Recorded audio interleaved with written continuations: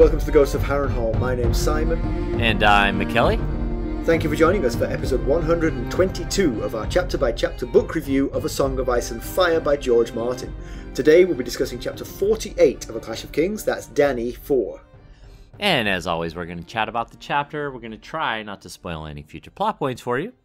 And hopefully, we'll provide you some entertainment while we do it. We'll summarise what's happened, discuss our thoughts on it, provide some useful background, compare it to the television show, indulge in a little pedantry, and cover some relevant news and listener correspondence.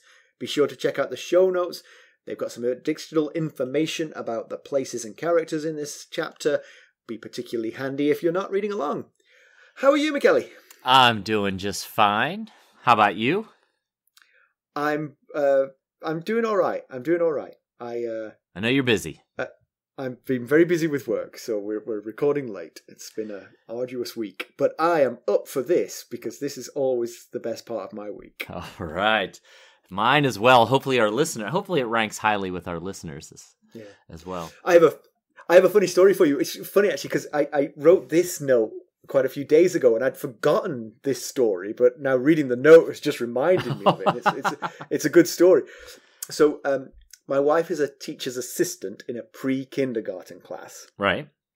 Yeah. Teaches from so the bathroom four, on occasion. Yes. So it's four year olds, and they're a little bit unruly, this particular crop of four year olds. She puts it down to uh, COVID. She thinks that this is too, you know, from the age of two to four, these kids were isolated and not uh, mixing the way oh, normal sure. kids would. Their social so their social skills are, are off a little bit. Their socialization is lacking exactly, and so she she they they have some problems, and one of them has a very strict parent who. Uh, does not stand for the nonsense that the kid puts does, but the kid does the nonsense nonetheless. And um, he was playing with a car which he brought from home, a little toy car, uh-huh. and was told to put it away and didn't. And eventually the teacher took it from him and put it in her pocket. And before he left, she reached back into her pocket and put it in his bag, not even telling him she was returning it, but just so it wasn't confiscated forever. That evening, like before she left, the father dragged the child into the classroom and said, Is this yours? And it was the chub for her car, the the the keyless fob oh, for ah, her no. car. and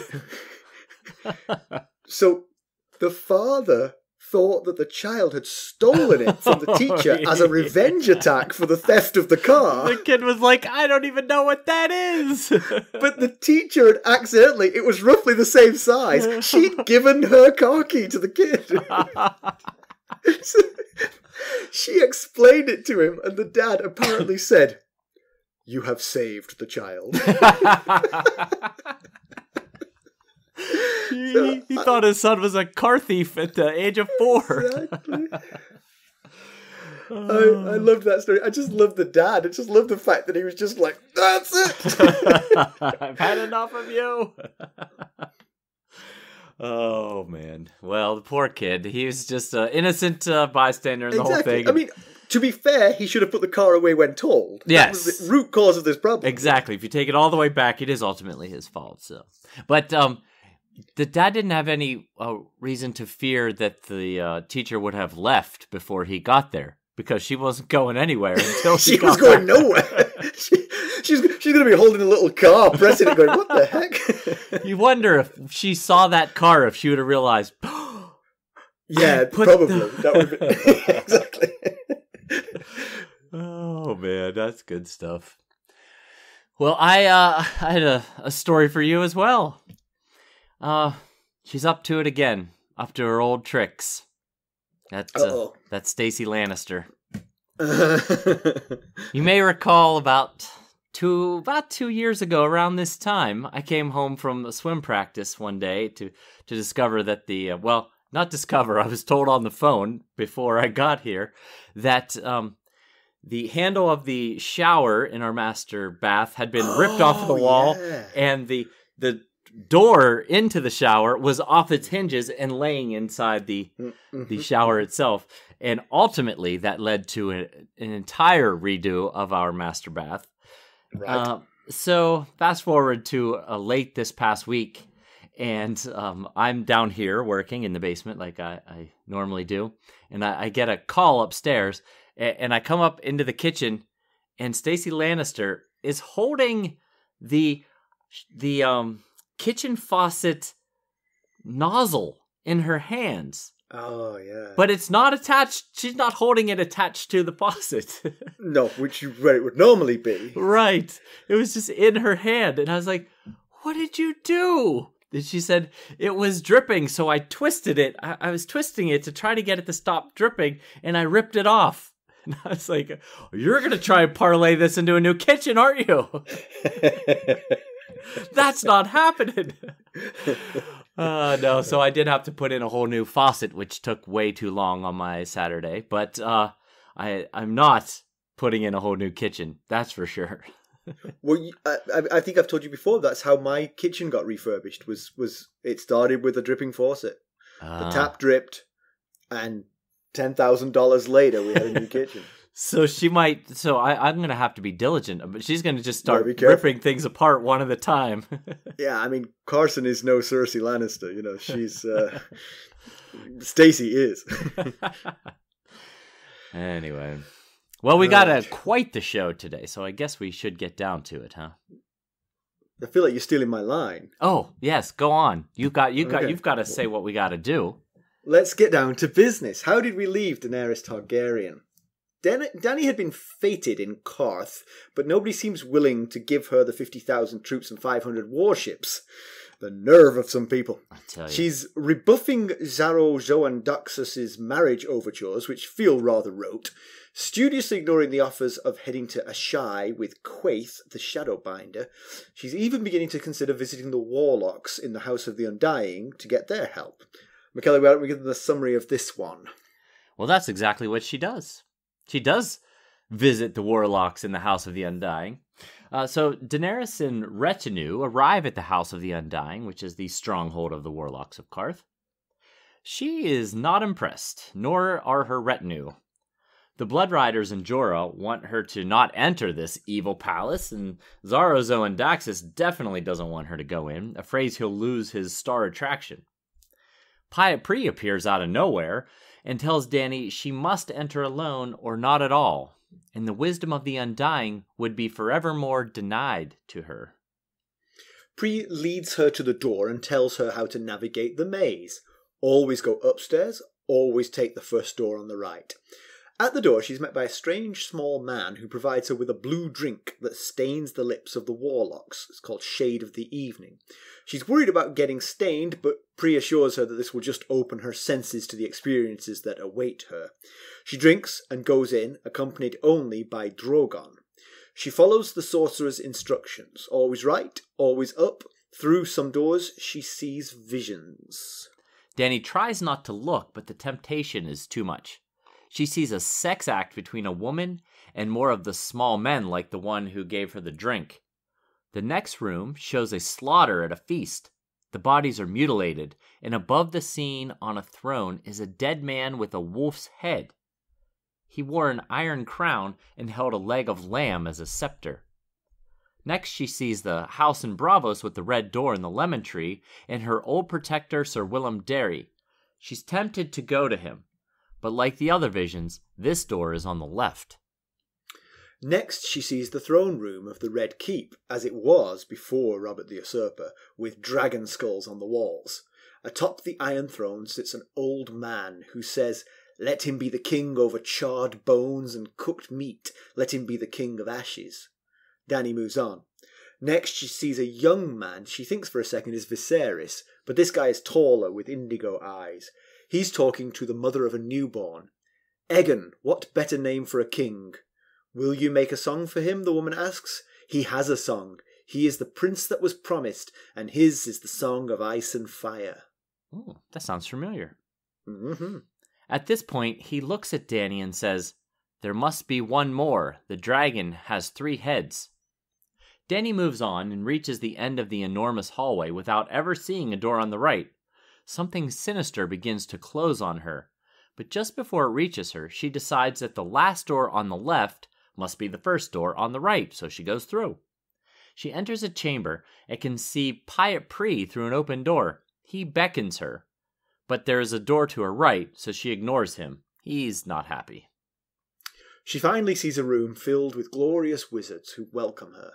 They beckon her, but Drogon spots that the open door to their room is hiding a door further to the right. It's it's propped open, hiding the fact there's another door. Trickery. Uh, she goes through that door instead. Now she truly finds the Undying. They are wraith like, sitting round a table above which hovers a giant putrid heart. She asks for their wisdom. They tell her she is the child of three and that the dragon has three heads. She must ride three mounts to bed, to dread, to love. She will know three treasons for blood, for gold, for love, and she must light three fires for life, for death, and to love. She sees more visions. Viserys in his death throes, a tall copper skinned lord before a burning city with the banner of a fiery stallion behind him. A prince saying a woman's name as he dies on his knees, the rubies spraying from his chest. A red sword in the hand of a blue eyed king with no shadow. Crowds cheering a dragon banner. A stone beast rising from a smoking tower. Her silver beneath stars. A corpse at the prow of a ship. A blue flower growing from a wall of ice. A child running toward a house with a red door. A dragon bursting from Mirri Maz Duur's forehead as she burns. A naked man dragged behind a horse a white lion, the Dosh Khaleen paying homage to Dany, 10,000 slaves calling her mother. There will be a test on this. Uh, the well, the test is for us, really. There's a lot to go through there. Uh, the slaves reach for her, and she feels them sort of re- reaching at her and tearing at her clothes. But it's really the Undying reaching for her. And as she begins to be pulled down, Drogon raise, rains fire over them and tears at the rotting heart. The Undying dissipate as husks. Drogon follows as she flees, and she finds an exit. Pyat Pree, is apoplectic and tries to kill her, but Drogon flies into his face, and Dany's friends pin the sorcerer down while Jorah kneels beside her. Whew. I, I, it was a very enjoyable chapter, but I don't like these these chapters make for difficult episodes. I find they do because there's a lot of spoiler here that we have to tread very carefully around, yep. and there's just too much to remember, frankly. yes, I think of the 122 episodes we've done so far, this was probably the hardest to prepare an episode around this chapter because of the things like, you just mentioned. Feel like bursting into tears at this point. I have to say, but we, will we, soldier through. That's right. So the House uh, of the Undying is particularly unimpressive on the outside. It it, it is. It's yeah. um, it sounded to me a bit like a rundown Walmart. Yeah, they, smaller, not that big. They describe it as like gray, crumbling ruin, like low and long with Single no towers and yeah, windows, yeah. and uh, it, they there were like ceiling tiles or like roof tiles missing, and the mortar was falling out of the the uh, the walls. So yeah, in, in my head, I was thinking um, an old rundown Walmart, basically. Yeah, I can see that. I can see that. But but it's like Doctor Who's TARDIS because it's different on the inside than it was on the outside. True. She, yes. She said it was very low, but she kept climbing stairs the whole time she was in there. So, um, she she's forced to take Shade of the Evening before going into the House of the Undying.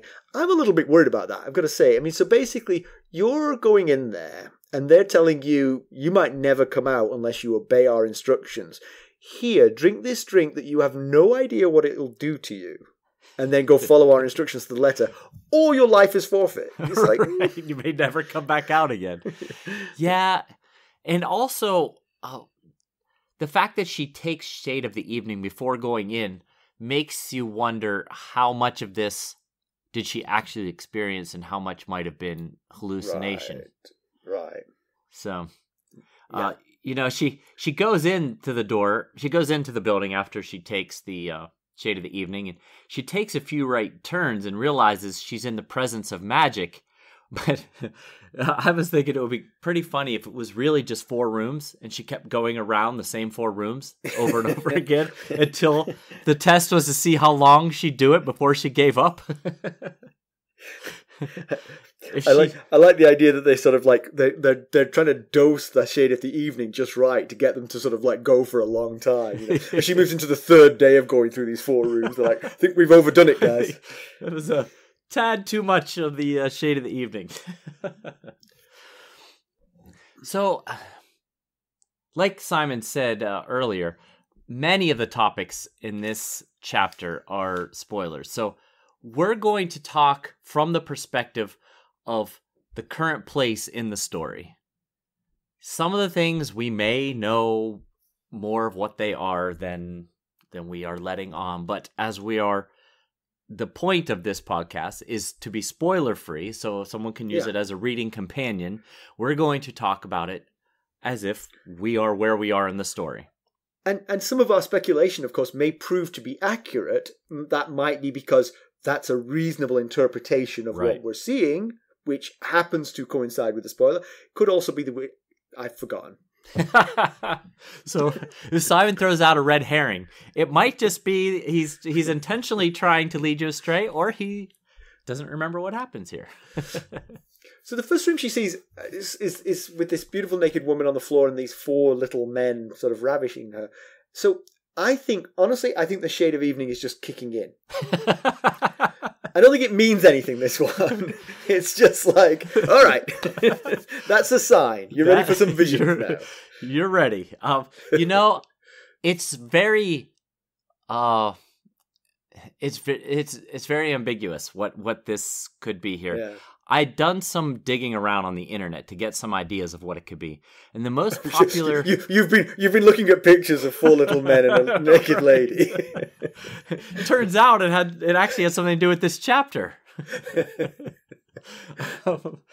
uh, the most popular opinion that I could find is that the woman represents Westeros, and the four okay. little men are the current four kings, claimants to the uh, well, I guess not all claimants to the Iron Throne, but the four kings we have out of the, the five because Renly huh. is dead. How very interesting. I, that, that that's perfectly plausible. I re- genuinely hadn't th- hadn't thought of that, but that is a perfectly reasonable explanation. Yeah, I thought. And so. also, it still works as a good kickoff for her visions as well because that's the point. I mean, that's what she's. That is her story arc, basically. Right. Can yeah. she take the Iron Throne? Can she save Westeros from the infighting? You know. Right. Yeah. So the next room she sees looks like a slaughter after a celebration. So the quote is that the savagely slaughtered feasters lay strewn across overturned chairs and hackled and hacked trestle tables, severed hands clutched cups, roast fowl, bread.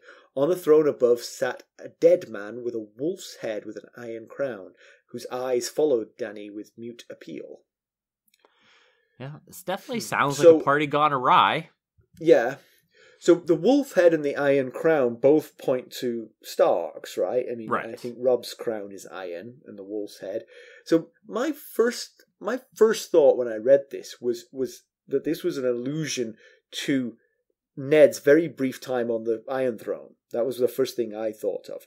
Right. Uh, because his time on that throne really sort of precipitated a lot of the things that are happening now because of his telling uh, Beric Dondarrion to go arrest uh, the uh, the mountain, right. and also to summon Tyrion uh, Tywin to King's Landing, which all of that precipitated the slaughter that's now ensued.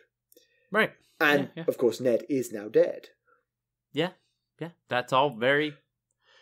That uh, all fits. That that uh, definitely makes sense. I, I was thinking that it was maybe in reference to Robb's success in the Riverlands in the West, but in doing so, left his home exposed. And so uh, the party that they're having here, with all the success in the the uh, West and the Riverlands, is being destroyed by um, what's going on in the North with uh, the taking of Winterfell. Hmm. Now we haven't uh, seen Robb in a while. Maybe he's up to something, you know, that might explain the vision. Right. Yeah. Maybe because what you're saying there, I mean, that's a good interpretation, but but of course it seems like a severe vision for that. I mean, I, we don't think Winterfell is very strongly taken. True. We think if Robb turned his hand to taking back Winterfell, he would do so in quite short order. And yes, for right. This this imagery seems a lot worse than that Yes. in many ways. That is true. But like you That say, we haven't seen Robb for a while, so maybe things are going south for him in other ways. you Yeah, know. he maybe he's he's up to something that will whatever whatever he's been up to. Maybe it will lead to to something like this. But Yeah. then, There, he, he does appear to be beseeching her for help too. right? Yes, you know the the, the part you're referring to is the uh, his eyes look to her for in mute appeal. So, what are we supposed to take that to mean? That um, you know, that is she supposed to join cause with Robb? Yeah, Like- it's yeah. That, it could be, but then what? What have the Starks ever done for Daener- uh, Daenerys Targaryen? They uh, helped to get her father off the th- throne and turn her into a beggar princess. Right.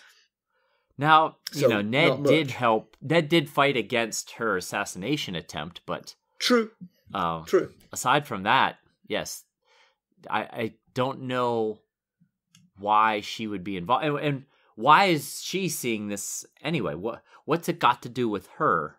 Does she have a role in the cause? Perhaps it's a message to her. Perhaps it's like this guy wants your help. You know, focusing back on the previous one, Westeros is being torn apart. He's the guy to help. Okay, okay, I get it. Yeah, yeah.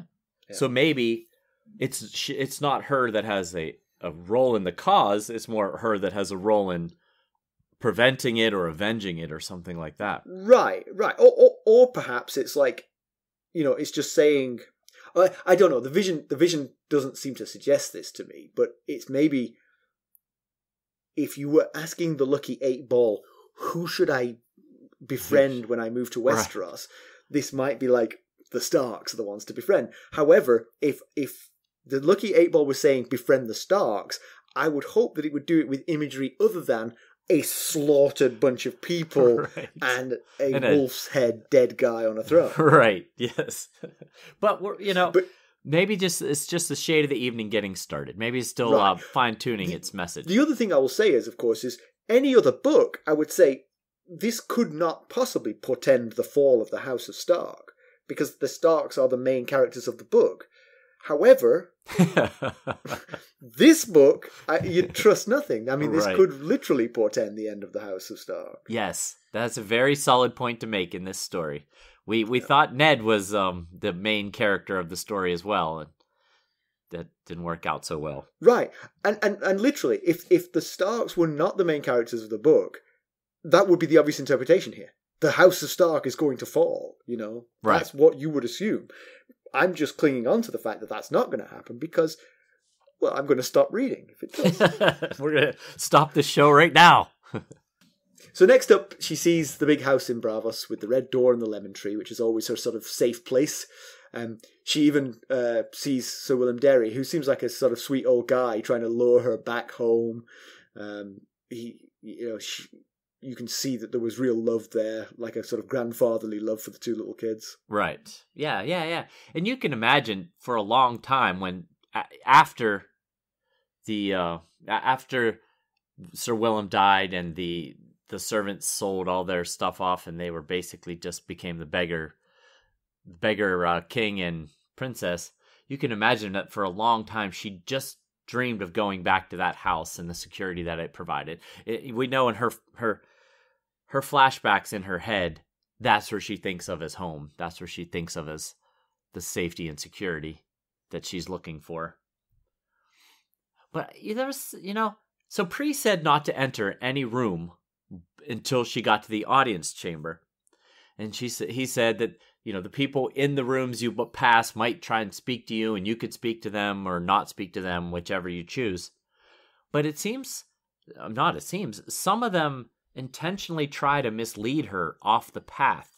Right. There, there, there are trials and tests here. I mean, Right. obviously, this is an this is a fairly obvious test um, that she the choice here is to keep going on this slightly arduous walk through the ancient Walmart, or go back to the place you've most wanted to go back, the place you've been happiest in your life. You know, right. If they can lure her across that threshold, they get to keep her in some way. I don't. I don't know what's the upside for the House of the Undying, but Yeah, clearly they're trying to get her to make a mistake. yeah. I, I guess uh, like, is it important enough to you to stay the course to get the to get the wisdom that we could pass on to you? It is important enough for you to stay to the course and not temptation. Yeah. take the temptation. First, first of all, to resist temptation, and second of all, to see through the tricks and traps. Right. You know. Yeah. Test to basically see if she's worthy of sticking to the course as well as mentally tough and therefore worthy of an audience with the Undying. But of course, I mean, we've already read the summary. When she gets there, they they give her some very Some more pro- visions. yeah, some prophecies and visions, but it- it wasn't like she she gained a great deal of uh, reward for making it through this course here. And and you'll find the fifty thousand troops you see uh, nowhere. no, we're- we don't have them either. Um, so next she sees uh, the Red Keep and the throne room, and uh, because it's got the dragon heads on the walls, we know that's pre Robert Baratheon times. This is Right. the Targaryens had the dragon's heads on the walls. There's an old man on the throne, and he's the one who says, "Let him be king of charred bones. Let him be the king of ashes." Uh, so I think it's clear, at least to me, from what we've read previously. I mean, this is just supposition because the guy did not wear a name badge, but this this is Dany's father. This is King Aerys, right? Because right. in fact, I, I'm stealing this now because Mackelly was telling me this just before this started. So I'll, I'll hand over to you. Why why do we think this is King King Aerys? Well, it, it fits the description very well because we know when Tyrion was down in the uh, Guild of the Alchemists, Hallyne talked to him a lot about all of the wildfire that King Aerys was having distributed around King's Landing. So it fits that this guy on the throne is saying, let him be the king of charred bones and cooked meat, let him be the king of ashes. It certainly fits the description of someone who is planning on creating quite the fire. Right, and and had the opportunity to. I mean, anyone could say that, but the only person we know of who had the means to do such a thing was Aerys through the wildfire that he'd collected from the pyromancers. Right. We're not aware of any other instance where someone distributed that much wildfire around the city. Right. Could be something else, but wildfire is definitely a candidate for turning a city into charred bones and cooked meat and ashes. It- Um, it could be that he's start thinking of starting a, a food truck or, or something. Possibly, possibly. um, and of course, there's a connection to Dany because it is Dany's father, if that's the case. Right. Um, and uh, oh, the other thing I would say is, so not only did he have an opportunity to to plan a conflagration of his home of his home, but he also kind of had motive. But two part motive. One, he was supposedly mad. That would be a requirement, I would say. Right. But secondly, he was also desperate. You know, the the the Roberts rebellion was going very badly against him at this time. Right. So uh, the temptation to burn it all down would have been there for him. Well said. Exactly. I think I think we've stated our case as to why this is uh why we believe this to be King Aerys sufficiently. Yeah. So um, the, the I, I wondered who he was talking to because it said it was talking to a man, but it never mentioned who it was. So we heard from uh, Wisdom Hallyne that uh, well, actually, we know who uh, Aerys's last Hand of the King was, right? That was um, Wisdom, Rossart. Wisdom Rossart, yeah. So Yes. so he's a candidate, but we also know that the p- penultimate Hand of the King quit over the wildfire, right? Is that right? Do we know He- that? He quit. He he he quit all right. Um didn't go so well for him. He was burned alive for not wanting to go on with this uh, wildfire plan. Okay. And that was uh, Qarlton Chelsted, is that right? Yes, Qarlton Chelsted. Chelsted, yes. Yeah. And so, I mean, the other people, it could have been a member of the King's Guard, I suppose, would have been around. Well, no, I don't know. That's right. We've we've already had a head count for the King's Guard. Not many of them were around. one person we know who was around all the way to Aerys's death was Jaime Lannister. He was true. He was right. He was, he was the very last person to see him alive. yes, he was. you you So- took that whole Kingslayer thing and uh, yeah, made it make yeah. sense. so it could be one of those people, but she never mentions what he's dressed like or what he looks like, so we don't know who who that person was. I was just curious if we did know. But then we get another. The the very next room is a, another family member. It appears. She sees who she thinks is Viserys, but the man is taller than Viserys, and this man has indigo eyes, not lilac like Viserys has. And this man is with a woman nursing a newborn, and he's he mentions the newborn's name is Aegon. And being that he looks an awful lot like her older brother, but taller, and has a son named Aegon, that fits uh, Rhaegar Targaryen pretty well. Because Yeah. he is her brother, and he had a son called Aegon. Yes, yes, exactly. And also, she mentions uh, the the woman uh, nursing the baby mentions, uh, "Are you going to write a song for him?" And we or we know that Rhaegar was um, a fairly talented musician. I believe that's I believe that's Oh. fairly well known. I don't think that's a spoiler. Well, it is now. Now you've told everyone, right. Can't put that So- back in the jar. But so he makes a sort of like a, a startling sort of like revelation about what Aegon is going to grow up to be. He's he's the prince that was promised. Is that what he says? And, and Yeah. he he is his song already exists. It's exists. It's the song of ice and fire. So that's interesting because that's kind of like grandiose. And Ah, yes, this yes, it is. kid got beaten to death at the age of two.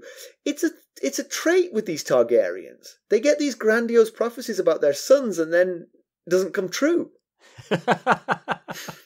So Aegon and now Rhaego. It's like, Right. oh, the stallion that mounts the world, unless he doesn't make it out of the womb. right, we have the prince that was promised, the stallion who mounts the who mount the world. So, so when he said there must be a third, is this another over eh, overhyped Targaryen child, perhaps? it's a good point. Yeah, you I mean that that is a being that he says his song will be the song of ice and fire. That seems pretty important. Uh, I feel like we've heard that name before somewhere. We'll be right back. Hello, friends. Are you ready to make some unforgettable memories? Well, if so, consider the Marriott Bonvoy program. Discover the perfect destination for your summer getaway and unlock exclusive deals on luxurious accommodations. With our affiliate partnership, you'll enjoy unbeatable savings and a seamless booking experience. Don't let summer slip away. Visit Marriott Bonvoy today and make this vacation season one for the books.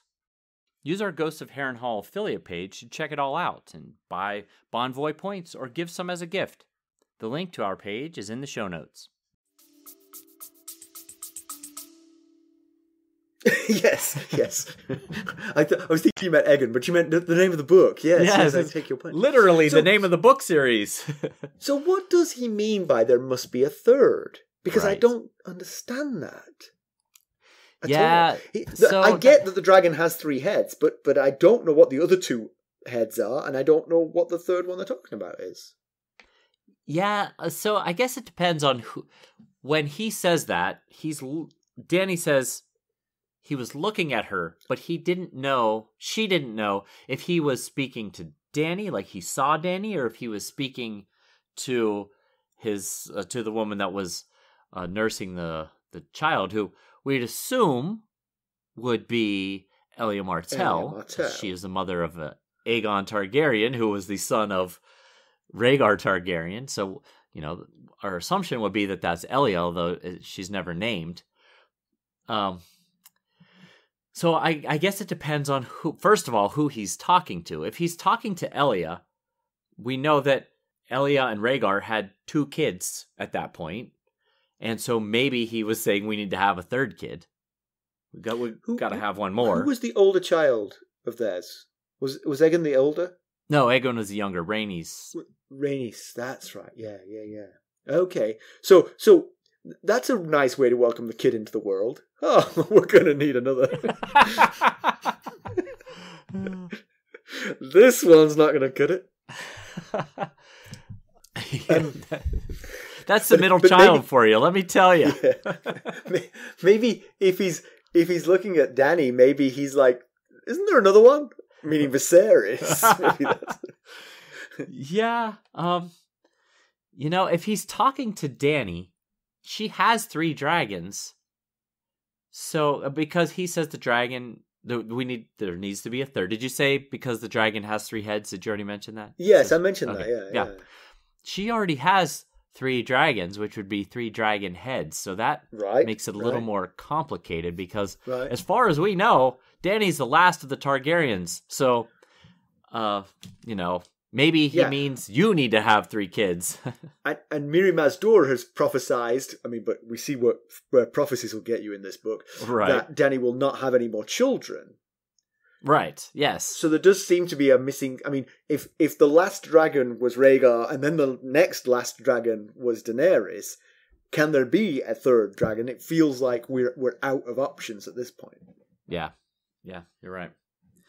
Now the uh so a- as we mentioned, he uh Rhaegar refers to Aegon as the prince that was promised. Now that that's the first reference we've gotten to that title in the book so far, and we'll just we'll let the story reveal more details on the prince that was promised. But one thing I will say is that Melisandre sometimes uses the prince that was promised interchangeably with Azor Ahai. So Oh, interesting. Oh. But I wondered. I mean, we're we're assuming this is Rhaegar and Elia, and he says his uh, Aegon's song will be the song of ice and fire. But there's not a great deal of ice in a marriage between the Targaryens and the Martells. Yes, So- that's fire and more heat. fire and sand. I mean, Right, it's a yeah. lot of sand endured, I think. But I was thinking possibly Aegon would be the fire, and he must defeat the others, Right. being the ice. But but again, Aegon died, right, in the sack of King's Landing. Right. The mountain killed him. Yes.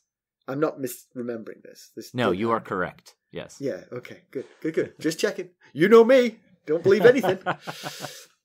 okay, so then moving on from that sort of slightly strange one, we um, we see Pree outside, and he he acts like, "Oh, you're already through. Fantastic, come along." But he's not the rightmost door, so he's yet another. This this is a trick, obviously, and Right. uh, she doesn't bite, and also he gets really hopping mad about it. I mean, like he was really adamant that she come through that door, and she's like, uh, "No, you told me to go right." So yeah. And he even says the undying won't wait forever. And she throws back in his face before he went in. He said, um, he said to her before she went into the house. He said to her, "Be patient with the undying ones. Our lives are but a moth's, a flap of a moth's wing." And so she throws that back in his face when he says, "They're not going to wait forever." So, but she does eventually. she goes up these long stairs, and she keeps thinking, "But there weren't any towers in this building, so why am I walking up so many stairs?" Uh, and she eventually does arrive at a great hall, and she sees a bunch of wizards in fancy dress and huge windows of light. And another thing that was mentioned about the House of the Undying is that there's no windows and beautiful music playing. And your first thought is, it doesn't sound much like the Undying ones that Xaro Xhoan Daxos portrayed. He, he, uh, But has he ever been invited in? Let's be honest. that's true. He might not have any idea. He just sees the outside of that building and makes assumptions. exactly. I'm not shopping at Walmart. right. And and they tell her that they've been waiting a thousand years for her, and that they were the ones that sent the comet to show her the way to to find them, which is a rather use, useful statement if you're trying to convince her that she is meant to be here, that this is her destiny. well, the only thing I would say to that is, did the comet point at this house in any way, shape, or form? Well, but there's it a comet in the sky. I'll give was you that. yes, it was in the southeast sky, and that's why she went ultimately into the red I waste. guess. So, um, I but no, it didn't hover above the house with an arrow pointing down. Anything that happens during the time of a comet could be like, well, it was bound to. Portentous. And she's been assuming the comment led her to Qarth for some reason. That's why she, one of the reasons why she keeps hanging out here is there's some reason the comment led me here. So validating that belief and explaining that it was them who sent it to guide her would definitely um, garner uh, some uh, interest in what uh, Yeah. what they And- can offer. And it appears to be the rightmost door, so she heads towards it, but Drogon is quicker on the uptake than she is, and he flies to the opened door and bites at it, and as drawing her attention, and she notices that if she peels back that door, there's another door hiding behind it, and that is more to the right than the door she was passing through. right, but they So of course again- the undying ones try and distract her they offer her the uh, knowledge of dragon speak which is another right answer if the question is things to say to Dany to win her trust and attention yeah, because she's been wondering how to raise and train these dragons basically since they were born and she has no clue or guidance Yeah. Of course, they get the more desperate they sound, the more I'd be listening. I would be listening to what Drogon is trying to tell me, even without dragon speak. right Because Yeah, so yeah, you're right. Uh, so he flies up to this door, and Dany uh, pauses instead of going in, and she goes to the door and discovers the other door, the old splintered door behind it. And the wizards are trying to convince her to stay, and the description is something like the wizards beckon her with voices sweeter than song. And it just remind it it just like reminds me of everything that Qarth is. It's lovely and welcoming and desirable, but ultimately useless to her actual needs so far. right, yeah, but but uh, but that doesn't actually mean that it's a bad place. I mean, like, I think I could run a very good city and not have. 50,000 troops and 500 warships on hand to lend to the person That's who a good claims point. them. That's a good Yeah. point.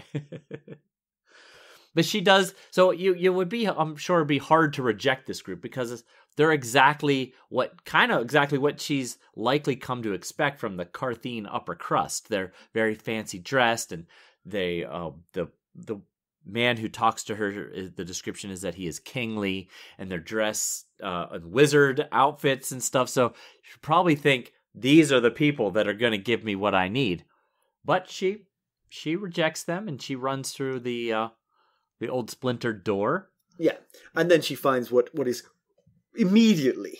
Having played video games, I know immediately I found the right one here because it's nothing like the last one. It's uh, you know this putrid blue heart hovering over a table and these wraith-like uh, wizards around it right who are uh, much more sinister and much more unpleasant. So they say that Dany is the is a child of three, so I find that one confusing because she is a third child. True, but how can you be the child of three? Uh, It doesn't make any sense to me. yes that is it is confusing mean- you're right she is the third child of, I'm not- I'm not criticizing polyamorous relationships. That's totally fine. but I mean, there's there's an egg and a sperm, and that's Right. two. You know?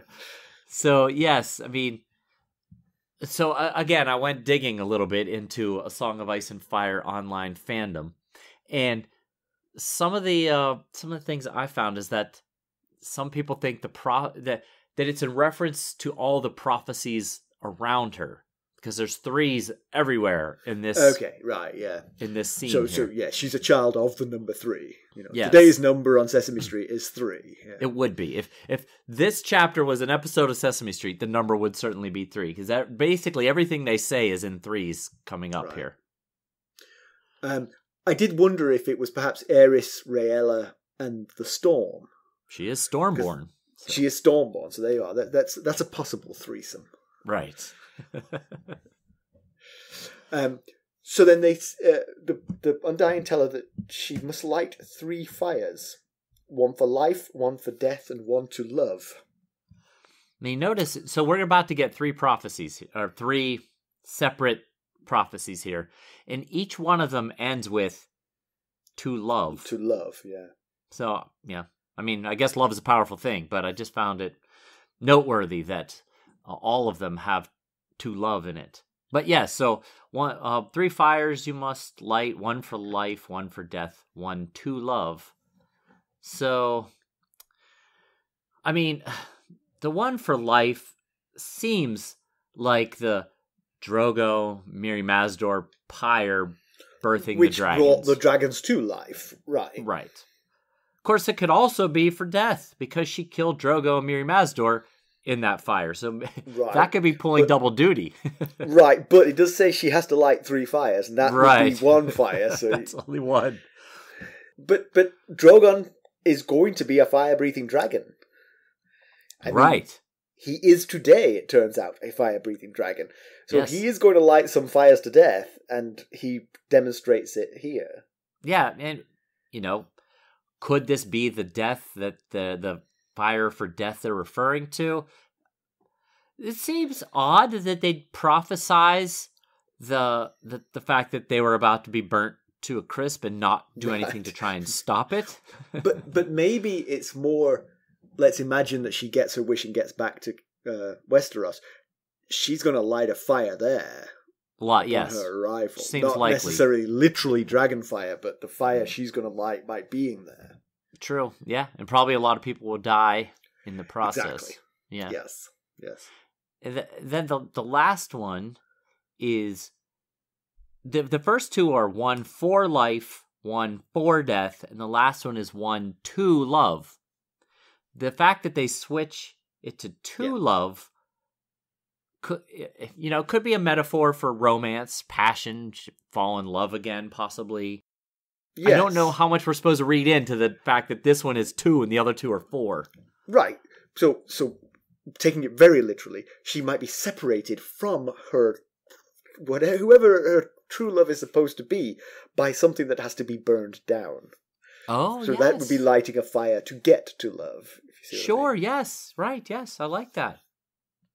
So um, then the next thing is she must ride three mounts. Three mounts must she ride. One to bed, one to dread, and one to love. Now I think this one's more obvious, actually, personally. Yeah, you the think it's Drogon one- is the one to bed, right? Obviously. Khal Drogo, sorry. Trying to make me look stupid, aren't you? One too many letters in that name. I meant Drogo. Yes. So uh Drogo uh, seems like because because of course if you remember their early lovemaking as we all try not to um yes. he, he the traditional Dothraki style was uh, like a horse so he would mount her in that way Right. Yes. Yes. so um Yes, yeah, right. And some people I've seen on the internet say that this is in reference to her silver. She loves her horse, and there's a, obviously a very strong connection from the very start. But I don't. I, I think Drogon, Drogo.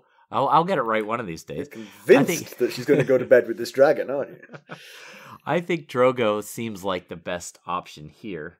yeah Now, And then So that- to Dread, I mean, okay, I don't know if these dragons are going to get large enough where she can actually ride them, but that sounds like she's going to ride the dragons. I mean, Balerion was the the dragons of old were ridden by the Targaryens, Right. Balerion the Black Yes. Dread.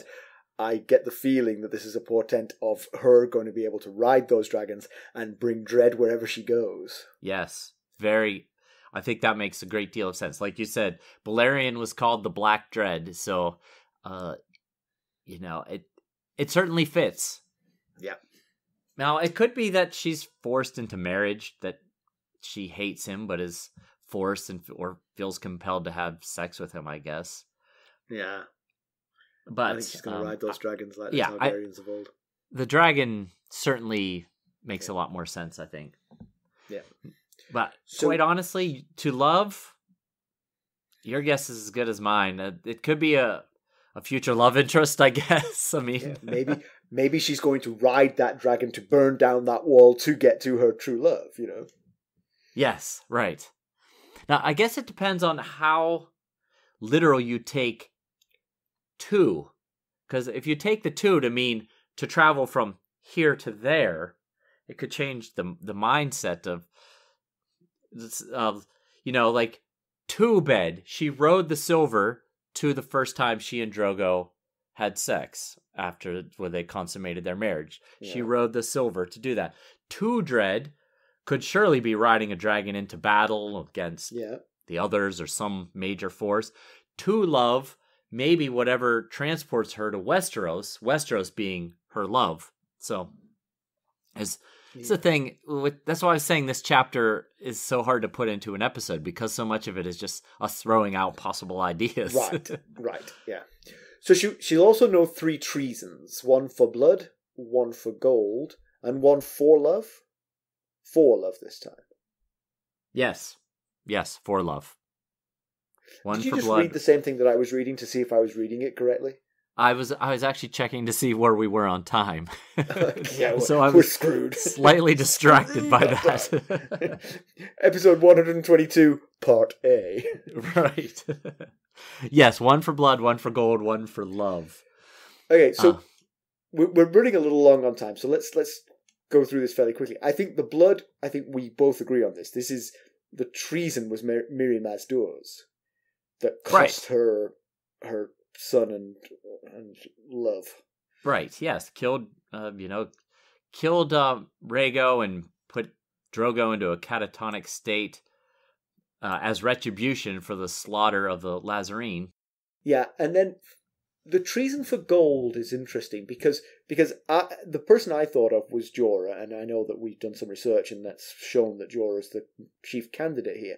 But literally, his treason towards her, at least so far, was all about getting a pardon to come back to Westeros, right?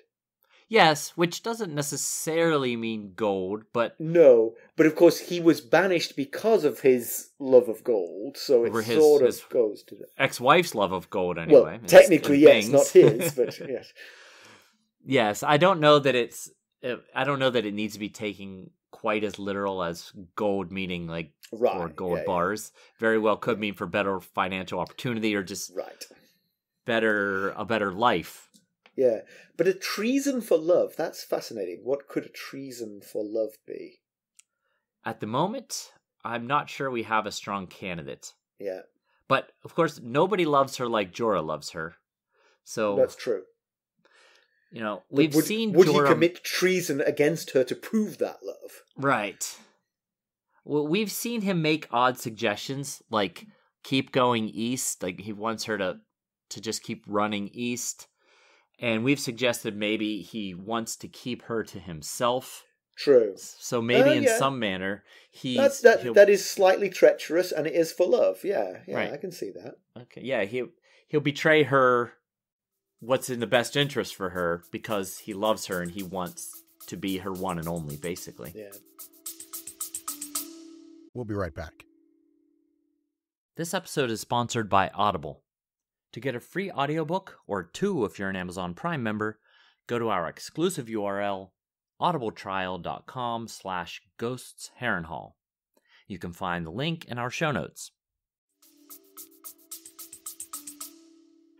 So she doesn't understand what all of this means, so she asks for help.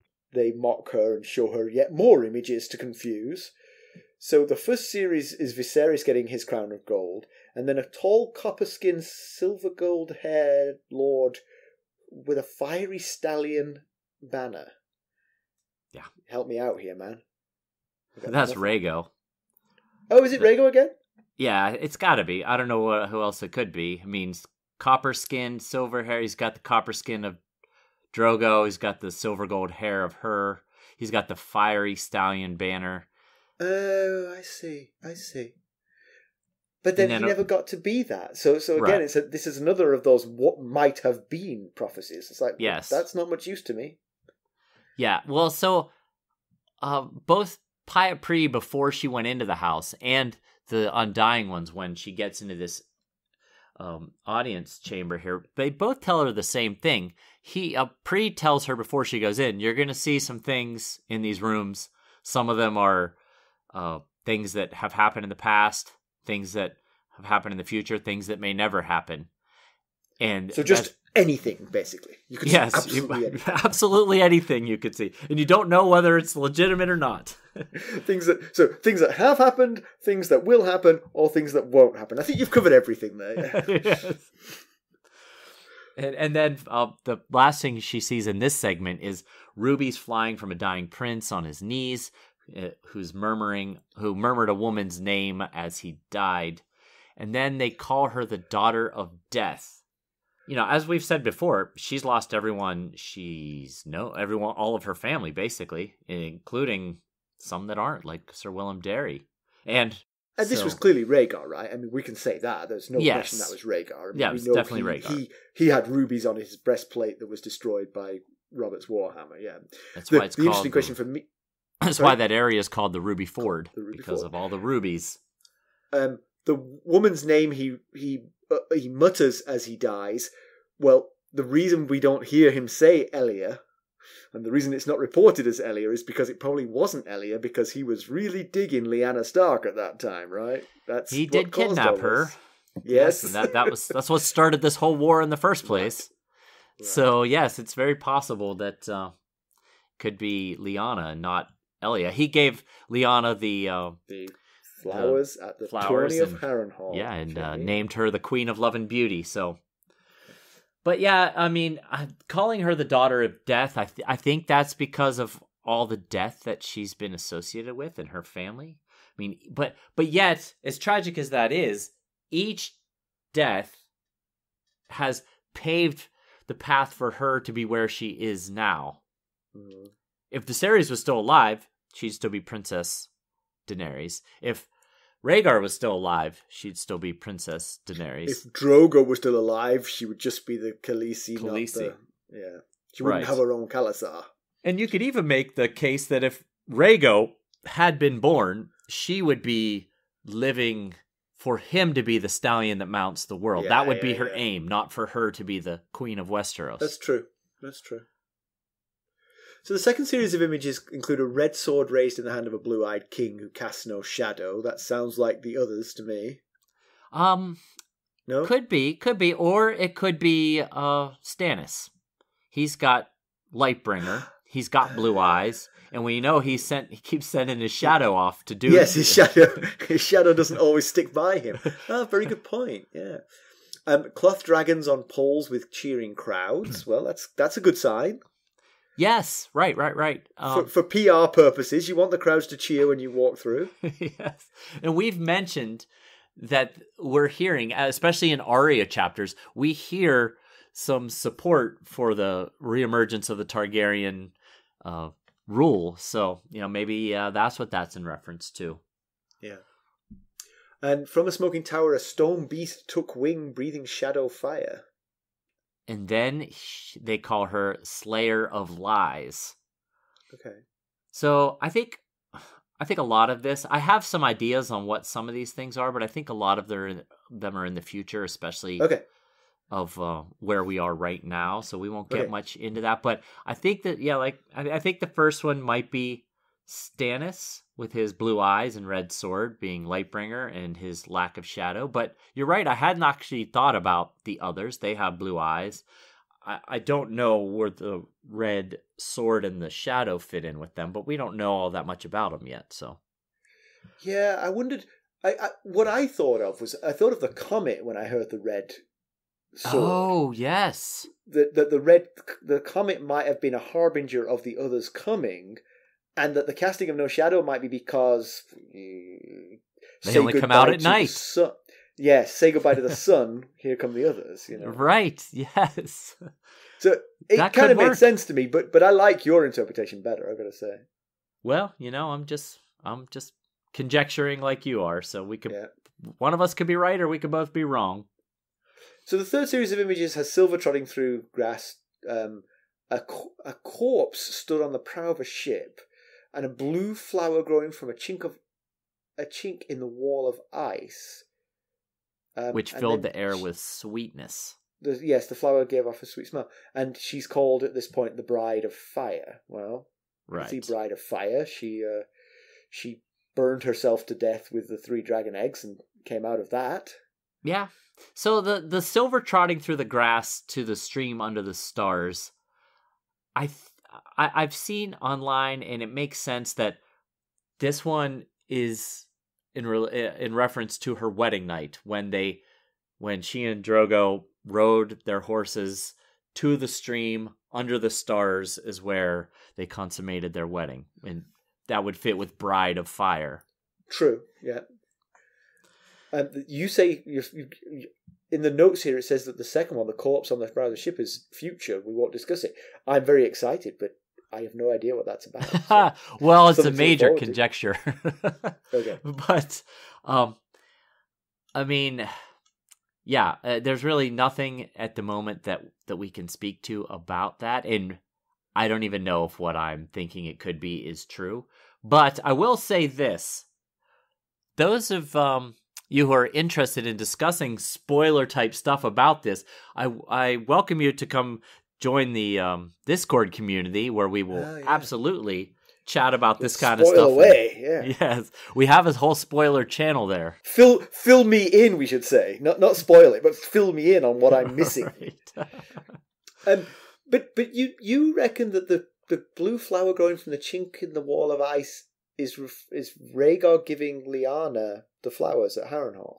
yes, that's my well because there's a lot of blue flower imagery when uh like when Ned was dreaming of Lyanna, he was dreaming of the winter roses that were her favorites.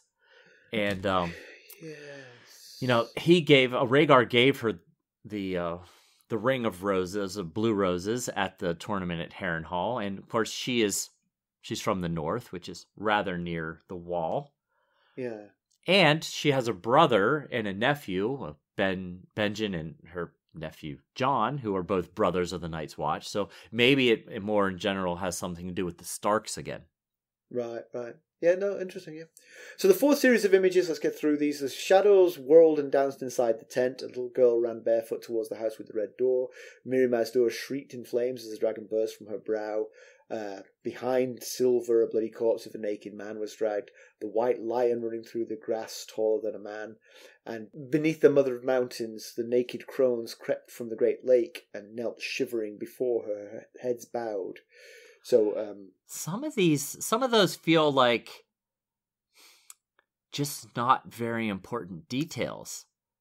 Like Yeah. the, the the the man being dragged behind the silver, the corpse being dragged behind the silver, that is certainly the uh the wine the the merchant that tried to sell her the poisoned wine. Uh, I mean, I don't know. Maybe it's maybe it's something else, and they're trying to trick us into assuming that that's what it is. Yeah. But then the white lion that um ran through the grass taller than man. That's hrakkar, which Drogon killed. Uh, Drogon, there I go again. Which Drogo killed the day that the wine merchant tried to sell Dany the right. The poisoned wine. Yeah. So It, it it does feel like this is kind of like a sort of like a life flashing before your eyes kind of thing because she actually does. will remember a lot of these particular incidents. This is not sort of prophetic to her, apart from the uh, Dosh Khaleen seeming to pay her homage, right, which certainly hasn't happened yet, and she doesn't seem to be on her way to Vaes Dothrak, so it's not going to happen in the near future. It would seem so. That's an interesting Yeah. one. Yeah, it, maybe it's another one of those like what might have been type things right, where right. had Drogo and Mounted world. lived, that Right, this had might Rhaegar have mounted happened. the world, she might have been there as like the the ultimate uh, Dosh Khalid. Khaleesi, yeah. Yeah. But again, so that that wraps up all the prophetic stuff. If if you want to talk spoilers, the, our uh, Discord server loves talking spoilers. So uh, join the Discord community and uh, you know hop into the spoiler channel channel, and we'll talk about any of these things that you want to talk about. But unfortunately, we're constrained by our no spoiler rule in this Yes. show. So, um, one question before we depart: Do you think that Dany knew that Drogon was going to be ready for the fire breathing thing? I do not. You think that that came as a surprise to her that she that he was? Yes. Why did she take him then? Why did she take him in there with her? I was think it for his ability to sniff out a right door hiding behind an open door? it was. That was the whole thing. He she's seen him go around finding right doors. Uh-huh, this is the dragon I'm taking with me. I found it kind of a little bit interesting that Drogon was allowed to come because Pyat Pree said she must go in alone or she can't go in at all. But then she goes in with a dragon on her shoulder. right. Maybe Pri was Eyesight's terrible. He's like, "That's a nice brooch you've got." Oh, maybe it's her emotional support dragon, and uh, they just figured that uh, he can travel with her. Yeah, you know, I, I think it just it, it made it made for an interest like as far as martin's thinking it just made for an int- more interesting situation to have the dragon right there. if yes if we knew she had a fully grown fire breathing dragon on her shoulder we would not have been very scared for her right there's no door one second i'll make one Um, one, one thing, just to contrast with the TV show, the TV show she calls on the dragons. All three of the dragons are in the scene for in the TV show to Right. light up, but we've never seen them do it before. And but she clearly believes it's going to happen in the TV show, so they they definitely decided that she she thought they had it in them at this point. okay she didn't give any indication that she did you know that she thought that th- that could be a possibility today Right? No. Yes. Yeah. Okay. Just did you have some background for us? I do have a bit of background. So, like we were talking about earlier, uh, Dany sees an old man on the Iron Throne in in the her fourth room that she comes across, and she doesn't seem to recognize him as her father. Uh, she's never met her father, so that's not entirely shocking. Um, but also, a reason she might not have assumed that it was her father is because she thinks that the man looks so old and she might not expect her father to look as old as this man did because when king Aerys ii died he was only 39 years old now she's like 13 so maybe a 39 year old man does look like an old man to her. That's that's another possible option. But uh, also late in his life king Aerys refused to bathe. He wouldn't let anyone cut his hair trim his beard or cut his fingernails. And uh, be- Simon is using himself as a as a model here. it it can aid you, I can tell you. but because of all that, his hair grew to his waist and became matted, and his beard was tangled, and his fingernails were like foot long yellow talons. So, um, and all of that was due to a fear of being touched, which stemmed from this growing paranoia that he had. Now, the root cause of that paranoia is actually a pretty good tale, but it's one that we'll let the story tell us about in due time. So I'm not going to to bring up how that came about. But another reason that the Mad King looks so much older than his age is because he was thin and gaunt, uh, since he was afraid of being poisoned, and so he didn't eat very much. And he also had a propensity to cut himself on the blades of the Iron Throne, so his arms and legs were always covered with scabs and cuts so much so that he became known as King Scab, probably not to his face. Oh, I'm just going to put that out there. But Aerys' haggard appearance wasn't always an issue for him.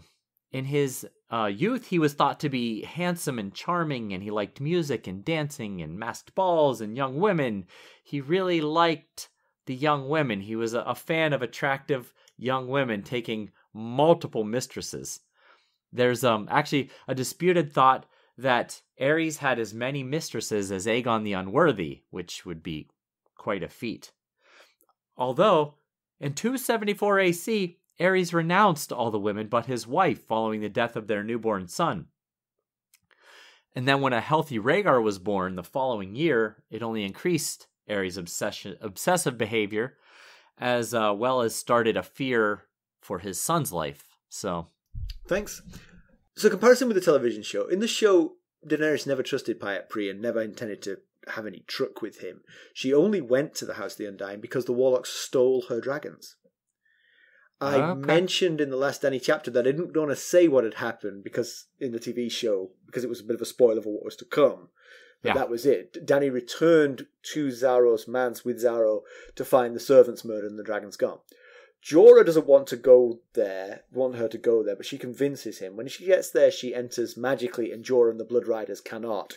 They lose sight of her, and she's inside, and they're stuck outside. okay. She receives no advice, and the only two visions she had God, it's much easier to get through the TV show, let me tell you. Uh, the Red Keep in ruins with snow falling on the Iron Throne, okay. and passing north of the wall, she finds a tent in which she finds Drogo and baby Rhaego. Oh.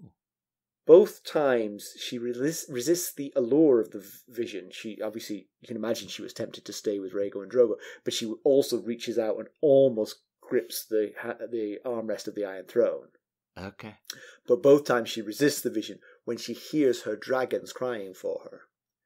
She finds the dragons chained up, and Pree tells her that she is to remain, and uh, chains suddenly appear, and she's chained up as well. Uh, Pree's argument is the dragons are strongest in her presence, and the warlock's magic is rediscovered in the presence of the dragons. We heard that before, that the dragons are causing magic to be stronger. So Right. the, the warlocks want them trapped so that they can uh, get the, reap the benefit. Sure. Uh, there are no undying. That's just the name of the house. Um, it's just the warlocks. In fact, it's just Pyat Pree. He's the only one we ever see. Um, but Pyat gets his comeuppance when the dragons torch him. When uh, D- uh, Denny says Dracarys, and the dragons fire up and set him on fire and burn through the chains, and they uh, walk out. I remember that. Yes. Mhm. Good stuff. Good stuff. I don't have any pedantry. We don't have time. So news and notes, uh, just don't forget we're going. This is our last show of 2021. We'll be back on January 3rd. We're going to take a week off. I think uh, we, Mackelly deserves a bit of a rest, but it's just just one week. As do you, of course. Just one week, I promise. That's right. Um, we so I I couldn't get Apple Podcasts to uh, let me see reviews. It was for some reason it just wouldn't go to review, so I couldn't pull a review off of there. But there was a really cool uh, review from our, or not review, just a message from our Buy Me a Coffee site from uh, uh, one of our um, newest uh, monthly sustainers by the name of Magnus Ulf. And uh, the message goes Great show. I really love it. And I'm happy to support it so it can continue. The hosts have great chemistry, although because I'm not the best at recognizing voices, so I'm not always sure who is Simon and who is Mackelly. Well, thank you, Magnus. That is that is really very kind of you, and we really appreciate the support. I Yes. I am fascinated that he struggles to hear our voices apart because I, I'm I'm going to guess that English is not first language here, so that makes it much more difficult. But we have very different accents. I I feel I, I, I would agree with that. Yes. sufficiently strongly different to be quite noticeable. But I, but I mean. I I mean, I say that, but I'm learning French, and I couldn't tell the difference between French and French Canadian. You know, Right. Sure. Yeah. so you know, but they're they're very very different. So that, that's That's- fascinating. That is a good point you bring up. Yeah. Yeah. Ma- If you don't- Magnus, let me let me tell you. Typically, I'm the one making the witty comments, and Mackelly is the one laughing. That's how it works, just generally. right there. That's how that that's that's our roles. well, thank you, Magnus. Thank you so much for the the kind message, and of course, thank you so much for uh, becoming a monthly sustainer. It's amazing. Yeah, we're we're really appreciative of the sustainers. So thank you all. Conclusion. Uh, Dany is exactly where she was at the start of the chapter, basically, but she did give it the old try. She she went into the uh, crumbling Walmart to see if there was anything worth pillaging, and the answer was no. Yeah, she got some prophecies, but what does she do with those prophecies? Yeah. I mean, like you Yeah. always say, uh, that they affect you going forward, and you have a tendency to base your decisions off of the prophecies you've you've gotten. Do I say that? You do say that, yes. I do say that. I was, you know what? Funnily enough, I was going to say that. it's because you do say it all the time. I do say it. It's it's the Macbeth thing. I don't always say it's the Macbeth thing.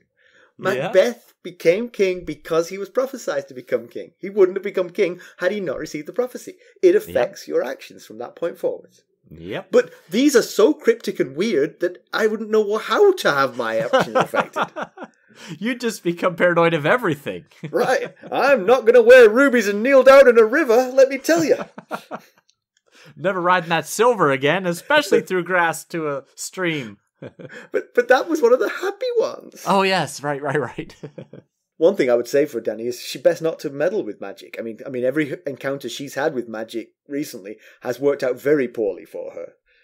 Ah, right. Yes, it, it has. And she was she mentioned at the very beginning of this chapter that she was drawn to the House of the Undying after seeing Mirri Maz Duur's abilities as a simple mage. Right, right. So she was expecting to really get some good stuff here, and boy, she must be disappointed. Yes, but but she has had some success. I mean, I mean, she she tried her own hand at blood magic, if you remember, when she dragged Mirri Maz Duur into the pyre with her and Right. the eggs, and that Yeah. did work. I It mean, did. those those eggs came to life. Um, but and and also, of course, this will be difficult for her if she if she is to eschew magic, but she happens to be the possessor of the things that are creating magic in the world. Magic is going to follow her around. Good point. Yes, very good point. Speaking of those uh, things that are increasing magic, the dragons are surely getting more useful. Right. Yes. Just eating frazzled meat is one thing, but if you can actually set things on fire on demand, you're you are now a little baby flamethrower. Now the question is the on demand. right. You know, is Drogon ahead of the curve, or are all three going to be running around burning stuff all around Xaro Xhoan Daxos's palace? Drogon is the lassie of the three. Knows what's Yeah. required. I guess. but she could- she still doesn't know dragon speak. The uh, the undying one certainly didn't help her in that department. So, you know, now she's she's got even more need to learn how to control these dragons, or they're only going to become more unruly. So the future's still cloudy, but I mean, obviously, you know, she's better than she was when she was in the Red Wastes, you know, but Ah, yes, Uh, yes. she is not getting anything useful out of Qarth, so maybe it's time to move on. Yeah. Where is there- next for Dany? I mean, this seemed like her last stone to turn over here. In That's what it feels like to me. She's she's gonna go somewhere else after this, yeah. Yeah. Anyway, we'll find out. Um, as always, you can reach us at ghosts.harrenhal at gmail.com and you can follow us on Twitter at ghostharrenhal.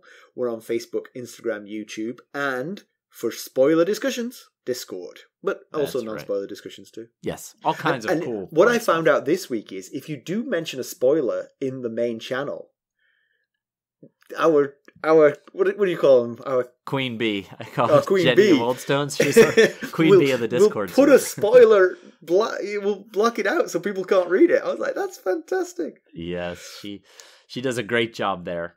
Um, but yeah, you can also you can um, buy our merch, of course, at ghostsofharrenhal.threadless.com, and you can buy us a cup of Arbor Gold at uh, buymeacoffee.com slash ghosts. You can make a single contribution or you can join as as a monthly sustainer. Either way, we'll be very grateful and uh, very much appreciated. But you could also go out and leave us a uh, a five star rate and a glowing review if you want to help out the show. Nothing spreads the word more than that, and uh, we certainly would appreciate it. And if you do go out and leave us a, a glowing review, we just might read it on a future episode. We certainly would. Thank you for listening. Thanks. Bye. Bye.